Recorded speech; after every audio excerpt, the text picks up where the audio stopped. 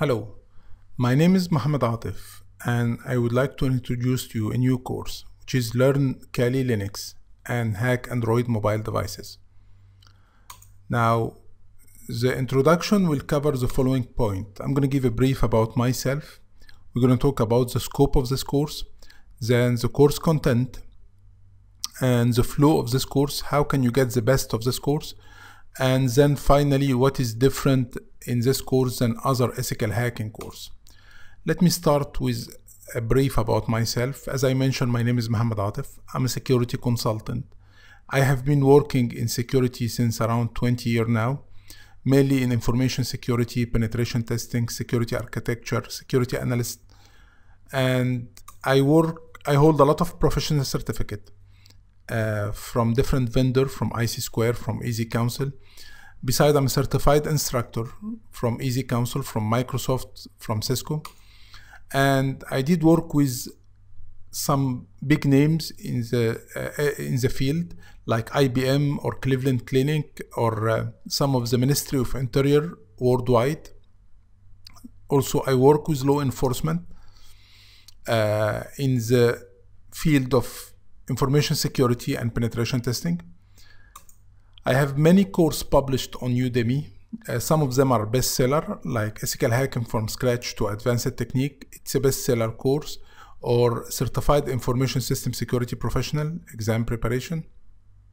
And finally, uh, about myself, I was able to help a lot of students to uh, clear their professional exam in different area in CISSP and CEH. So I believe I can help you gaining the right skills for ethical hacking and penetration testing.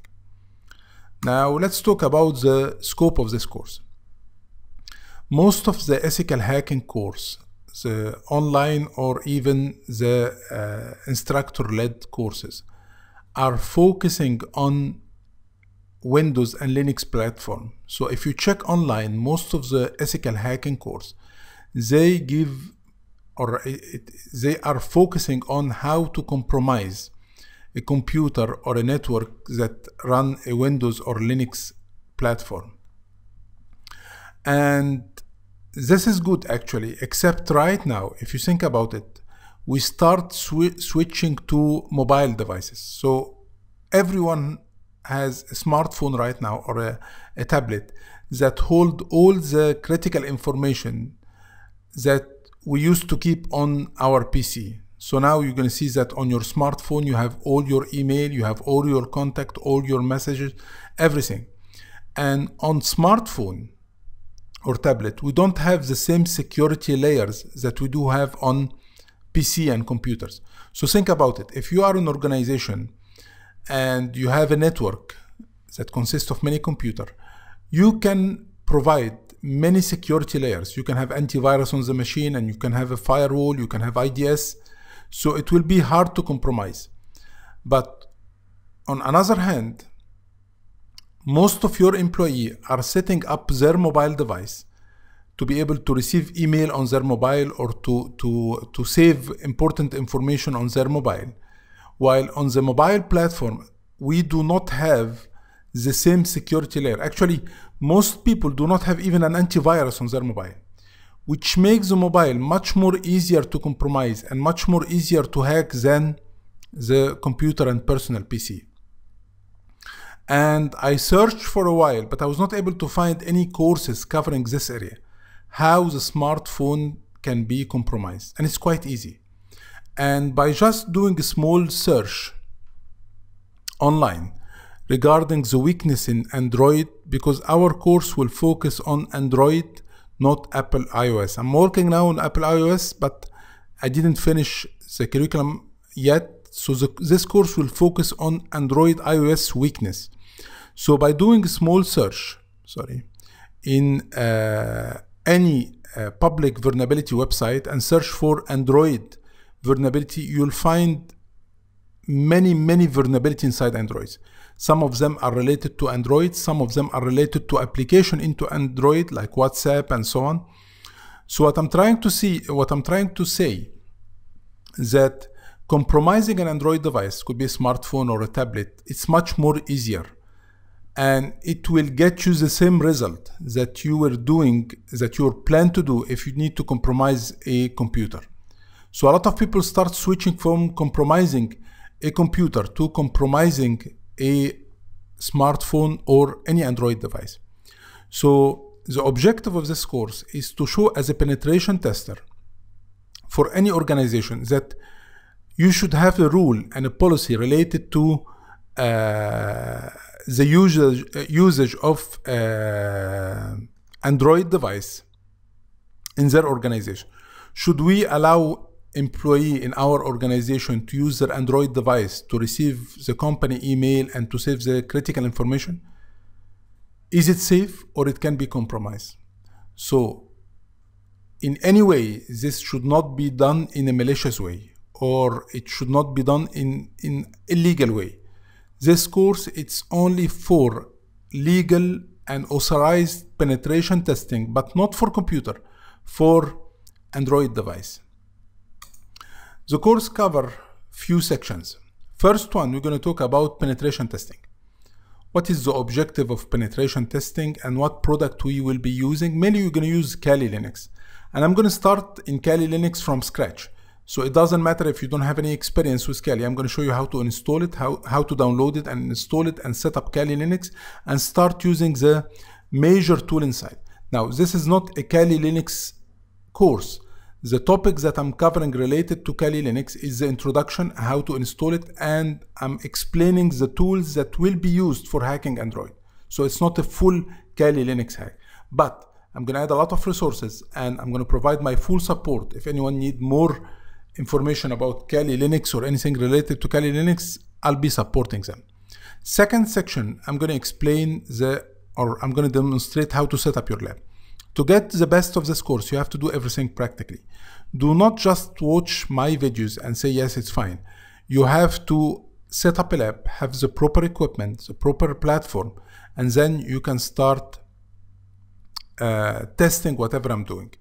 Then third section is talking about the important tools. Kali Linux is filled of penetration testing tool. We will not cover all of them. This will need a couple of courses. We're going to take the major tools that we need for Android penetration or Android hacking. Then I'm going to talk about exploitation. This is a separate subject or a separate section where I'm going to explain how to search for a weakness, how to get advantage from this weakness, uh, uh how to search for an Android weakness or even Windows weakness, and then how to get advantage or to compromise the system using this weakness. The next section we will be talking about hacking Android devices. I'm going to show you different way to hack Android devices. We're going to use some regular technique. We're going to use some vulnerabilities that has been recently found. And I'm going to show you not those specific attack because you're going to cover maybe five, six attack. But the point here is not those specific attack. It's how to search for a vulnerability and get used to it. Maybe tomorrow a new vulnerability will be published. Now, how can I utilize that to compromise system? So it's more about the technique, not the tool. Then we're going to talk about social engineering. This is not a technical uh, section. This is showing you how easy it is to manipulate manipulate people that using that are using Android device. I can spoof an email. I can send them an email showing that it's coming from someone else. I can spoof Uh, SMS, I can spoof phone call. We're going to demonstrate everything. And by using social engineering techniques that we're going to explain, you can implement whatever attack in the other section. But one more time, this is to be used for privacy setting, for privacy. And the most important point, it should be used in an ethical, authorized way after getting the right approval. This tools that we are using is considered in many countries illegal. So if you try to misuse that, you take full responsibility about that. And finally, we're going to talk about hacking using Android device.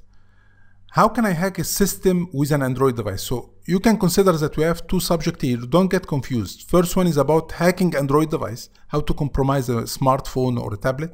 Second one, what if you are sitting somewhere and you have an Android device and you need to monitor the network or hack the network?